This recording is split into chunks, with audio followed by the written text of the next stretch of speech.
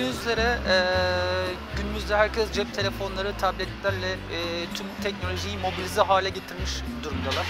E, restoranlar da e, bu değişime ayak uydurmalı e, ve kendisi için gerekli e, modülleri ve e, ne- nelere ihtiyacı varsa bunları doğru bir şekilde belirledikten sonra e, gerekli e, altyapı ve teknoloji yatırımlarını yapmak durumundalar.